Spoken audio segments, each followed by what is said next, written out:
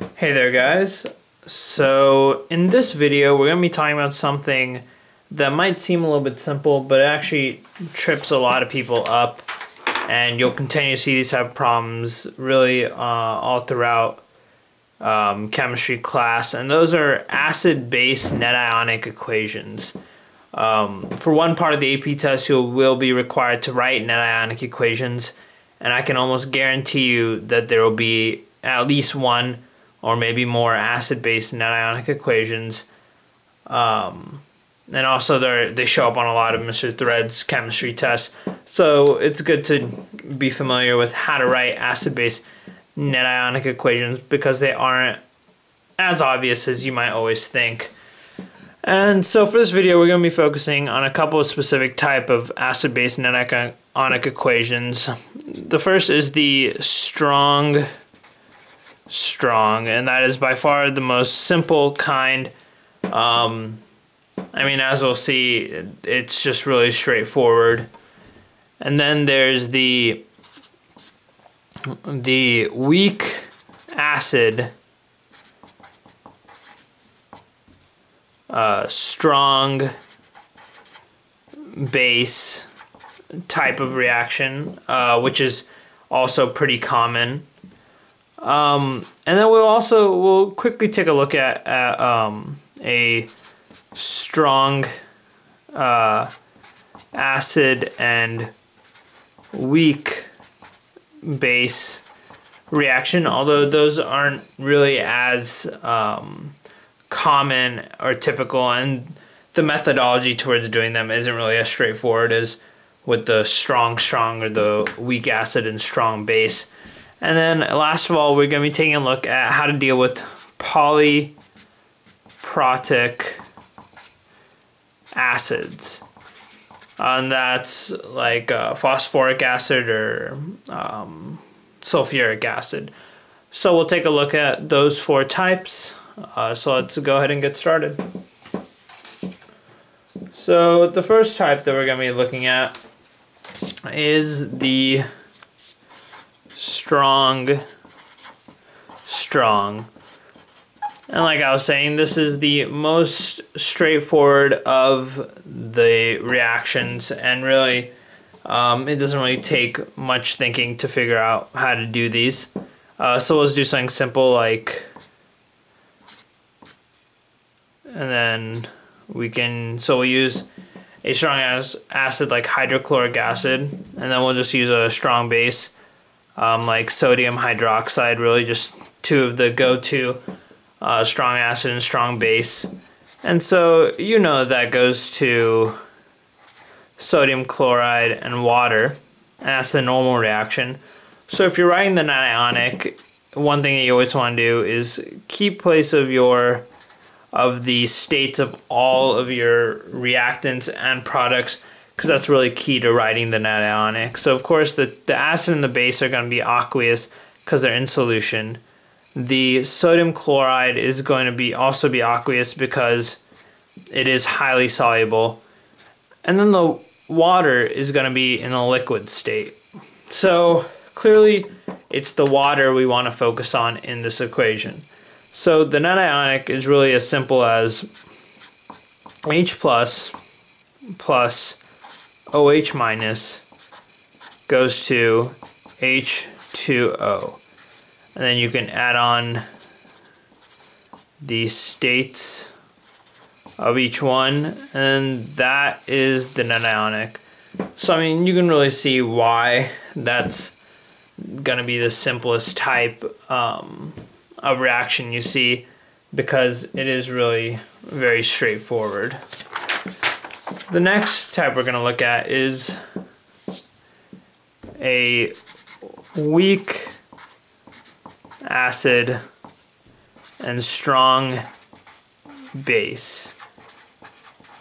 And one thing that we're going to hold here is that the strong base, you have to, one thing that's very important is to check the amounts there are.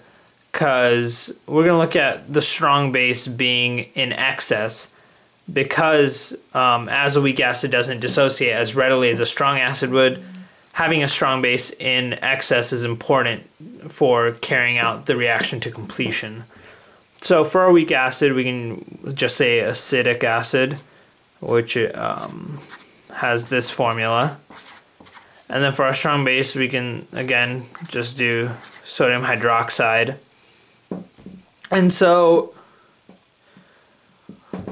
right off the bat, you might not be able to really, um, it's really tempting to just go ahead and say that it goes to sodium, uh, acetate, and water, and then have your net ionic just be H plus OH uh, goes to H2O like we did with our strong strong. But you have to be careful here. Because this is a weak acid, on the left side of the net ionic, you have to keep the whole entire thing together. I mean, that's not, I mean, once you kind of like figure that out, it's not too hard to remember because you just got to remember that because weak acids don't dissociate as readily, you're going to want to keep it together. So then you can put the OH minus which I mean we know that um, sodium hydroxide is a strong base, so we're gonna get the hydroxide ion. And then you can form your H2O, and this is probably the most important part. Then you also have to include your acetate ion. Um, so then you can go ahead and put your forms here and you have to put your acetate ion because although the state of it doesn't change, here it's part of the molecule as a whole. But because we have a strong base in excess, those hydroxide ions are going to pull off um, those hydrogen ions to create water and then leave the ion in a different state than before because it is separated. Then really quickly, here we can just do it on the bottom of this. We're just going to look at a strong acid and weak base example. And I say, um, and as I was saying earlier, these really aren't as straightforward as a weak acid strong base, in which you can almost, when you can really just follow the rule of keeping the weak acid together on the left and then putting the um, the anion uh, alone on the right. Strong base weak acids, uh, because the weak bases aren't always as straightforward as just having an OH. Um, they can be a, a little more tricky sometimes, and you just kind of got to go off your intuition sometimes. And one example of that would be hydrochloric acid. So that's obviously a strong plus ammonia. And obviously this is tricky because you don't have your OH, so you might not know what to do. So you really just got to know that goes phone to form ammonium chloride. Um, and that's going to be aqueous. So um, with strong acid weak bases, it's a lot harder to really know what exactly is going to be formed, um, but they're not really as common. So um, if you're stressing about what's maybe going to be on the AP test, this probably is not going to be it. And then the final type of reaction we're going to look at is polyprotic acids. And polyprotic acids are acids that have more than one proton to give up. So, and the two examples we're going to be looking at are H3PO4 or phosphoric acid and H2SO4. And this works out really well because phosphoric acid is a weak acid while sulfuric acid is a strong acid. So we're going to use phosphoric acid in our weak in our weak um, acid plus strong base reaction with a polyprotic. So earlier whenever we had a weak acid and strong base, you kept the um, here with the acetic acid, you kept it together on the left. So you're really just going to do the same thing here. You're going to keep it all together on the left. Plus, and then we'll just go with sodium hydroxide again. So sodium hydroxide. And then you put your OH minus here. But then one thing that's important, because it's a polyprotic and because the strong base is in excess, um, there's going to be enough OH ions here to tear off every last one of those uh, hydrogen ions. So you need to be sure to balance out your equation whenever you have a polyprotic um, acid and the base is in excess. So then that's going to go form three H2Os and then you put the ion, of course, same as the other weak acid strong base right there. And that's your uh, weak acid and strong base. And then with sulfuric acid, that's going to be our strong acid and uh, strong base. So it's going to be our strong plus strong. So um, it's not as straightforward as with our other strong plus strong where we can just go ahead and make them form water and just disregard everything else.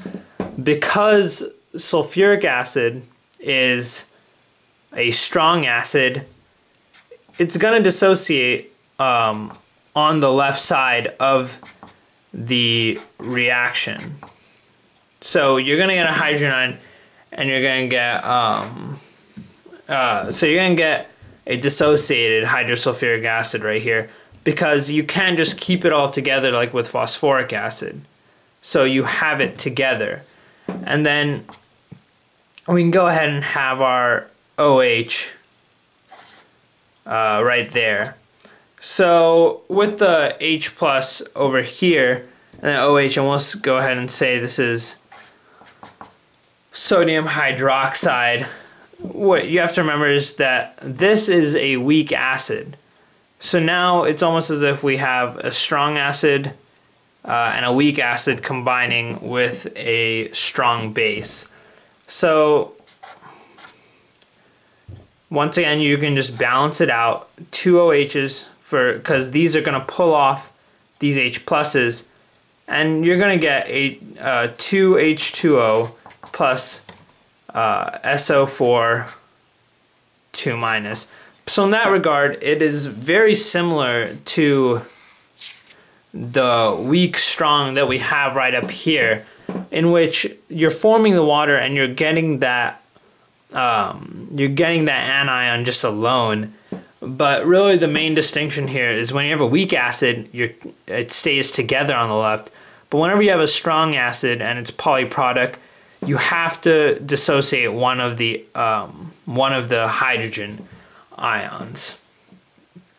Uh, and that's basically everything you need to know about writing acid base net ionic equations. I hope that helps you for the AP test and for Mr. Thread's uh, little chemistry quizzes.